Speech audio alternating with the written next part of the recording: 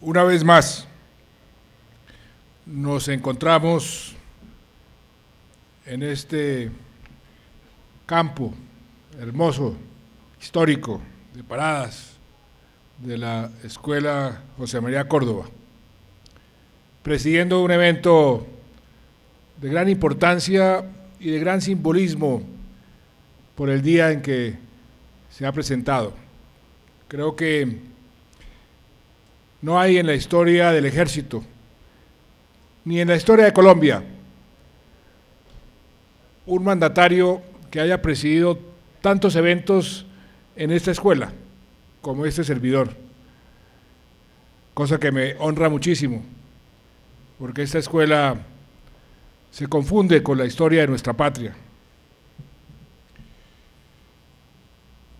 Quiero felicitar en primera instancia a los nuevos mayores generales y a los nuevos brigadieres generales por haber ascendido el día de hoy. Todos van a cumplir un papel muy importante en este periodo de transición. Ya han llegado a a ser generales, los brigadieros generales y ascienden los mayores generales por sus méritos, por su trabajo, por su amor a la institución y a la patria. Y quiero felicitar a un nuevo brigadier general, un brigadier general honorario, Augusto Pradilla, pereirano, que ingresó a esta escuela hace 63 años y desde entonces le ha servido a esta institución y a la patria con dedicación y con amor. Y le ha servido en un frente que es especialmente importante, después de retirarse como oficial activo, llegó al grado de coronel, y es en la educación, en la docencia. Desde que se retiró, se ha dedicado a la docencia a enseñarle a nuestros oficiales y a los colombianos en general el derecho, el derecho penal. Él es graduado en Italia, experto. Pero lo que quiero resaltar es 63 años sirviéndole a la patria, sirviéndole al ejército. Eso es muy meritorio y cómo me honra haber podido colocarle esas estrellas como general honorario de nuestro ejército. Y a ustedes los 189, 187 nuevos subtenientes, muchas felicitaciones. Ingresan ustedes a ser parte de ese grupo muy especial de colombianos que tienen el honor de llamarse oficiales de nuestro ejército. Llegan ahí también por sus esfuerzos, por su dedicación. En una escuela que es ejemplo de docencia, de entrenamiento y sobre todo de inculcar unos principios y unos valores que permanecen en todos sus alumnos hasta el final de sus días. Quiero felicitar al primer puesto, al subteniente Samuel Valle, del alma de, de caballería. Obtuvo cuatro medallas José María Rosillo por su excelencia académica.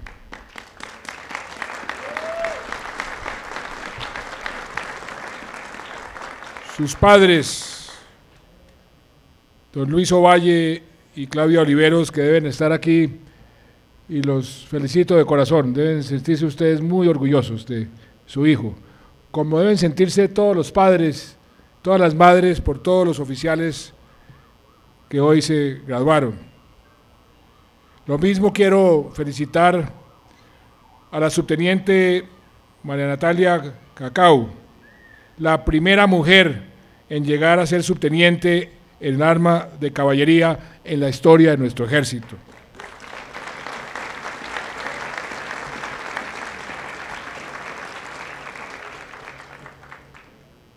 Y ustedes se acaban de graduar de una escuela militar, de esta gran escuela militar, el día en que he tenido el inmenso placer y honor de firmar el decreto mediante el cual se acredita a la Escuela Militar de Cadetes General José María Córdoba. Es la primera escuela de formación de oficiales de las fuerzas militares en ser acreditada en alta calidad académica por el Ministerio de Educación Nacional.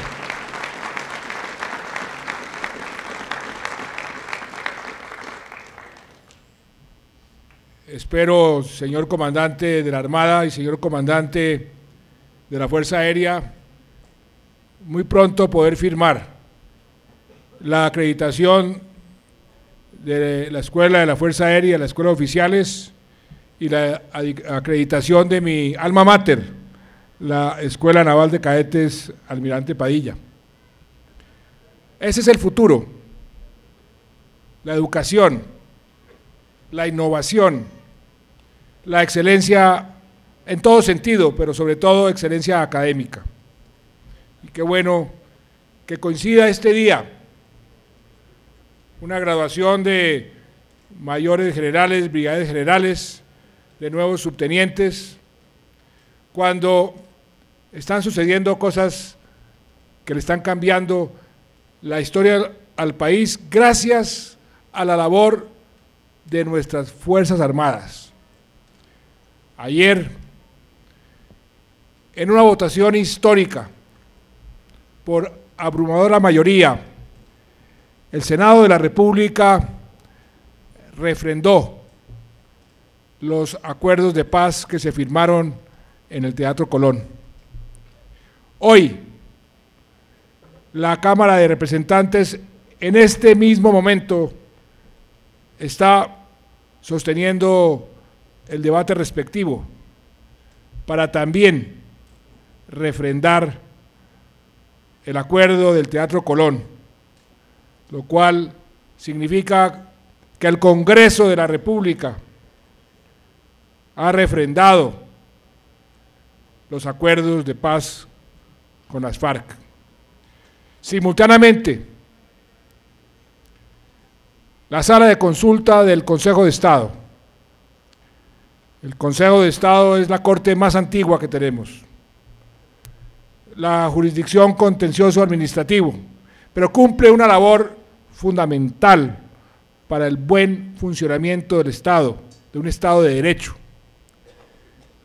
Y es que le dice al gobierno qué debe hacer, qué es legal y qué no es legal. Y fue por ese mismo motivo que yo le pedí al señor ministro del Interior que elevara una consulta al Consejo de Estado, a la sala de consulta, para que nos dijera si lo que estábamos haciendo, interpretando lo que sucede en todos los países, y es utilizar el Congreso de la República como la instancia idónea para refrendar los acuerdos de paz. En forma unánime, la sala de consulta el día de ayer dio su respuesta el Congreso de la República es la instancia idónea para refrendar los acuerdos de paz. O sea, queridos nuevos subtenientes colombianos, que mañana comienza el día D. ¿Y eso qué quiere decir? que en cinco días comienza el traslado de todos los miembros de las FARC a las zonas veredales de transición, que antes de finalizar este año, el 30 de diciembre, deben estar todos, todos los miembros de las FARC en esas zonas de transición. Que en el día D más 30, más 60, más 90, hasta el 150, comienza también el proceso de desarme. En el día D más 150, las FARC le habrán, le habrán entregado hasta la última arma a las Naciones Unidas y habrán dejado de existir porque ya no existirán las Fuerzas Armadas Revolucionarias de Colombia.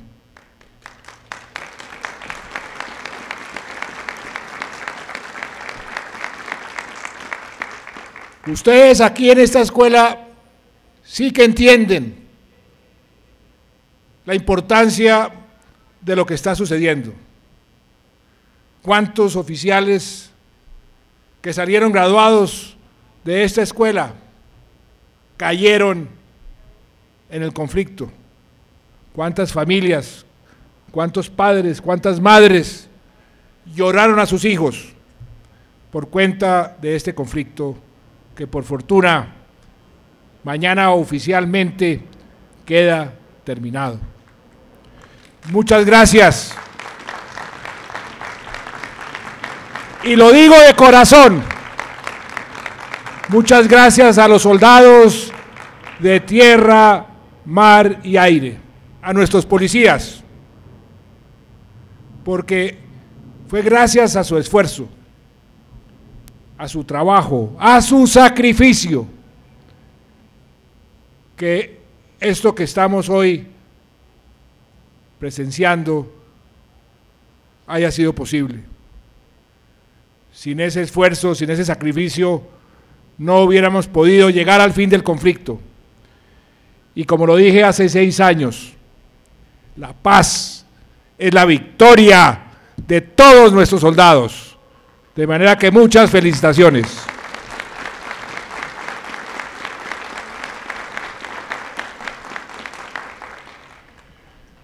Ahora comienza una nueva etapa. Por supuesto, los retos en materia de seguridad no terminan. Y allá estarán nuestras Fuerzas Armadas de Colombia, las mejores Fuerzas Armadas de Colombia que hemos tenido en nuestra historia, listas a seguir protegiendo la vida, la honra, los bienes de los colombianos. Tenemos muchos retos. Tenemos que llenar los vacíos que deja las FARC en territorios muy alejados. Continúa la lucha contra todos los grupos armados ilegales que siguen causando estragos. Pero ya podremos concentrarnos con más contundencia, con más eficacia, para combatir esas expresiones de violencia e inseguridad. Y lo haremos con unas Fuerzas Armadas capacitadas como pocos ejércitos en el mundo entero. Y eso es algo que también me llena de orgullo como presidente y como colombiano. A donde voy, a cualquier país, a cualquier organización internacional, a la ONU, siempre señalan nuestras Fuerzas Armadas como un ejemplo, como una institución a seguir, como una institución que todo el mundo quiere emular. Y ese también es un gran reto, mantener, fortalecer esa excelencia que se ha obtenido será también uno de los grandes desafíos. Por fortuna, oficiales como los nuevos que hoy se graduaron, los generales que hoy ascendieron y en la mitad todos esos oficiales, los suboficiales que entrenan a nuestros soldados en los diferentes cuarteles. Toda la institucionalidad está funcionando como un relojito para afrontar ese nuevo futuro que le espera al ejército de Colombia, a nuestras Fuerzas Armadas y a todos los colombianos. Será un futuro promisorio. Haber vivido 52 años en guerra nos ha costado demasiado. Mucha gente que ni siquiera ha logrado asimilar lo que es vivir en guerra durante tres generaciones. Alguien decía que los colombianos hemos perdido hasta la compasión, que es la capacidad de dolernos por el sufrimiento ajeno. Tenemos que recuperar esa compasión. Tenemos que recuperar la capacidad de reconciliación, la capacidad de perdonar, pero sobre todo esa capacidad de unirnos todos para hacer de Colombia ese país que nos merecemos. Tenemos todo en nuestras manos. Somos el país más biodiverso del mundo entero por kilómetro cuadrado. Tenemos un horizonte en frontera agrícola como pocos países en el mundo. Les decía yo esta mañana a los cafeteros, ayer a los ganaderos, las oportunidades que se le abren a Colombia para convertirse en la despensa del mundo, en un mundo que cada vez está demandando más alimentos y que no sabe dónde los va a encontrar y que Colombia tiene toda esa capacidad. Oportunidades de todo tipo que se nos presentan ahora, que logramos hacer a un lado. Ese obstáculo, ese dolor, ese sufrimiento que representa la guerra.